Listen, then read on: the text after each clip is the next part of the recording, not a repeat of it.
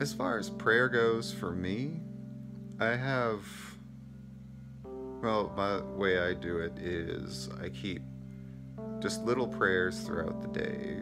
Kind of see a little something, say a little something, something like that, or something. Lengthy, kind of formal, bow your head, fold your hands, corporate prayer to me, for me, has always seemed kind of wrong for me because I'm a bit of kind of a wordsmith. I have a large vocabulary, so I like to make things high and lofty, and that just is kind of disingenuous. Again, for me. And it's just a little more connective and mm, genuine, shall we say, for me if I'm just have a thought and it's just a little prayer, just a little something to God. Like, I mean, a lot of times it's the weather, just because it's nice outside and that makes me feel good, and then it leads on to the thought of God's creation, and I'm just grateful in that moment. And I'm like, oh, thank you for this sunrise, sunset, just the way that tree looks because it just says something about the beauty of creation, says something about the beauty of God. One of the big times where prayer had a big effect on me was when I kind of transitioned from a, yeah, I grew up in the church, whatever, kind, to an actual feeling of genuineness I worked on at Arlington National Cemetery, and one of the nice things about that is, or at least at a cemetery, I think, in any case, but that was mine, is between services or between lowering caskets down and burying them, we have time to sit and wait for that.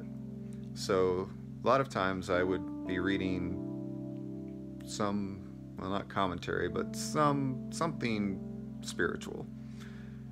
And one day, I was sitting up on one of my favorite spots. Was this little thing on a hill I could overlook and see a lot of a particular section of the cemetery, one of the new parts.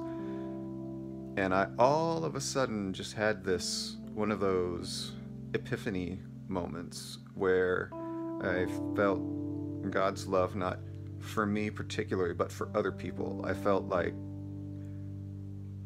the love of God was suffusing me, and I was loving every person I could see like God could for, for just maybe a minute. It was a little overwhelming. But that's one of those things, and I was asking for it. I'm not just thanking God for His creation, but also there are times where I just remember somebody from my past or even my present, and not necessarily that you know they're I know anything they're going through or whatever, but it's just I think of that person I'm like, hey, take care of them. You know, I don't know what they're going through, but I love them. You love them, and yep. And not being lengthy about it and just kind of not. I know we're supposed to be specific, but sometimes it's just seems like a giving them over to God thing for me.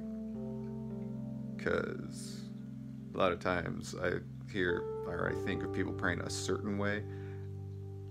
I know that's supposed to be the case, but for myself, I often am just, I don't know. So you do what you need to do because I don't know what it is. And I have no idea what direction it should go in. So I just, you know, throughout the day, some people, if I know something they're going through, I'm just, and that thing, well, whatever you got for them